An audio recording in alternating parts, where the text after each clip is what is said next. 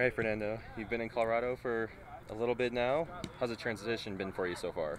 Well, it's been a, a, very difficult change for me, but I'm really excited to be here with the team, to be here in the city, and just to give the most of me to the team. All right. We know you're a forward, but uh, tell the fans a little bit about your style of play. You like to get in behind, hold up, that kind of stuff. Well, I, uh, all my life I've been always playing as a striker, but I also like to be uh, behind the striker to create some game, and I love to score goals. All right. You've had some experience with the youth Mexican national teams and with Club America.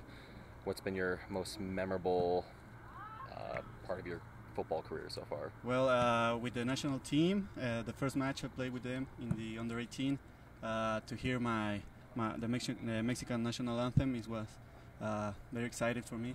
And with Club America, when I made my professional debut uh, in this year, it was the, the moment I've been waiting all my life, and I'm very happy to be to be here right now.